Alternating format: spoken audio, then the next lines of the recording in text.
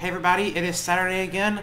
There are only 20 days left until Wrockstock, and I cannot believe it.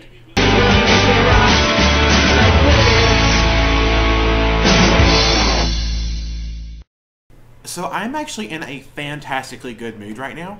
It is Saturday night about like 10:45 or something, and I mean I've been watching college football all day because that's what I do on Saturdays. But ah, oh, Georgia Tech won. Like we were ranked number 19 and we beat the number four team in the country, Virginia Tech, and it was wonderful. And I've been watching other games too, but that was the one I was looking forward to the most, and we won. And I just love it. My home team wins. Oh, it's great. But anyway, um, back to Harry Potter stuff. Rock Wrockstock, 20 days.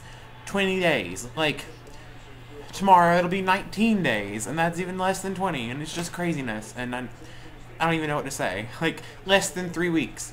I can't believe it. Like, Fran will come, be coming to visit me in like two and a half weeks. We're gonna drive out to Wrockstock, and I'll see every, see everyone, and see all of you again, and I can't wait.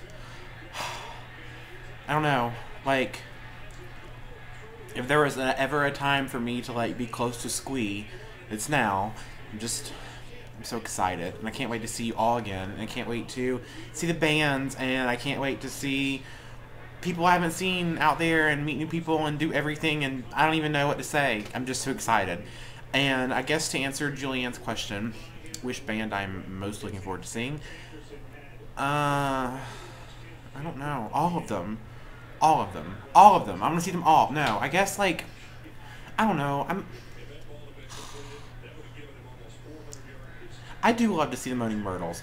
Like I do. I I hope that they're going to be really good this time because I felt like they were a little lackluster at LeakyCon, and I don't think it was their fault. I think it was mostly the setup and the sound people that they had, and that last performance at LeakyCon just had issues in general. None of the bands sounded good there, I thought. But, um, I don't know. I'm looking forward to the Myrtles coming back with a vengeance and having an awesome show. So, ah, just can't wait. Anyway, I'm, I've been rambling for like how, how many minutes, but I can't wait to see you all again, and I'm so excited, and I love you all, and 20 days, 20, 20 days.